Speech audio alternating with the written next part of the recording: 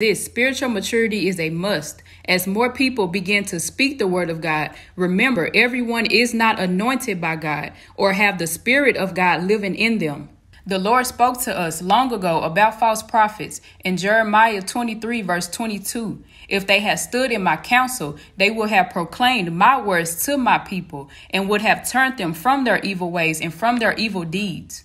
Some of you are more faithful to wolves in sheep's clothing, who lures you away from the path of righteousness, than to our Lord and Savior Jesus Christ, who is the way to eternal and everlasting life.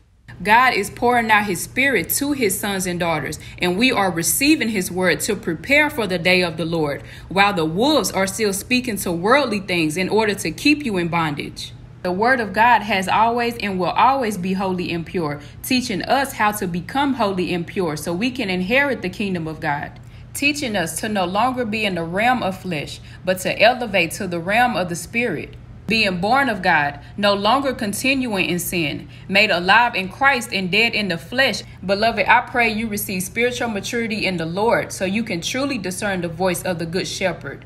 I pray you learn how to test the Spirit so you are not led astray by wolves in sheep's clothing. The Father, the Son, and the Holy Spirit are on one accord to save God's children from the evil one and lead them on the path of righteousness that leads to eternal life and one who speaks the word of God, who truly receives the Spirit of God, will be in alignment with them.